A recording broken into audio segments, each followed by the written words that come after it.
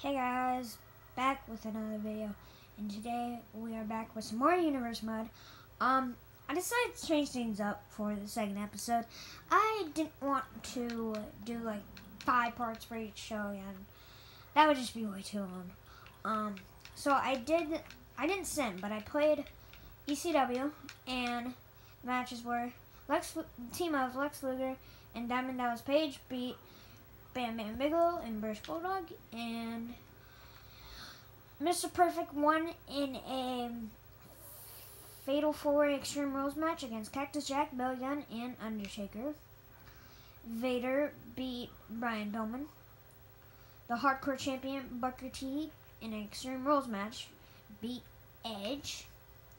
And then the ECW Champion Bray Wyatt beats Kane. So let's move on to SmackDown. Um, I'm gonna have to edit this, so I'll be right back.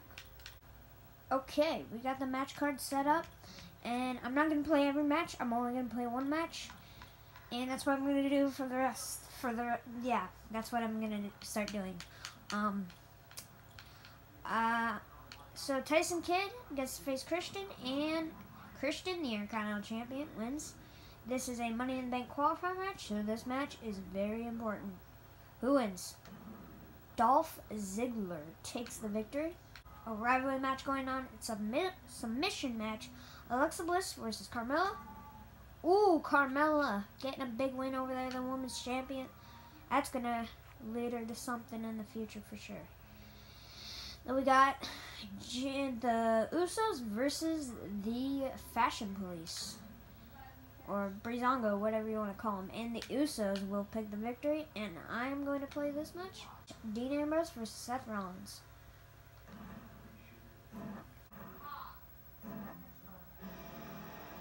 Oh man, here comes the Luna Tick Fringe. Dean freaking Ambrose. Oh yeah, sorry, forgot I'm PG now while the lunatic fringe. It's probably first in line for that WWE, for that World Heavyweight Champion. But it really matters here. Will Dean Ambrose potentially earn a shot here at the World Heavyweight Champion against Seth Rollins? Oh man.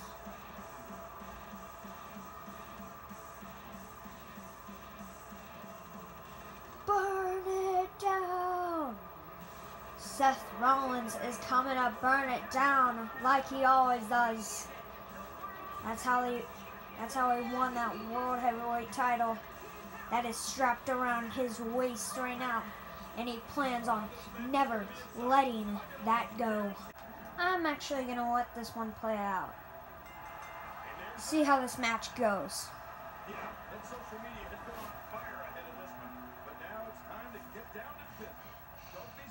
Dean Ambrose looks like he's got the advantage so far. Oh, picking up, picking up Seth. Oh my goodness. Oh, Seth with the kicks and strikes though. To counter. Oh my god, another one.